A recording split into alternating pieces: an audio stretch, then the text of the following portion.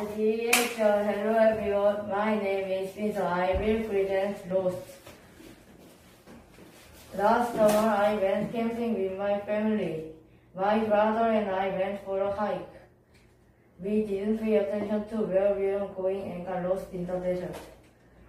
We tried to follow some tire tracks back to camp, but the wind had blown most of them away. After that, we checked our compass, it was broken.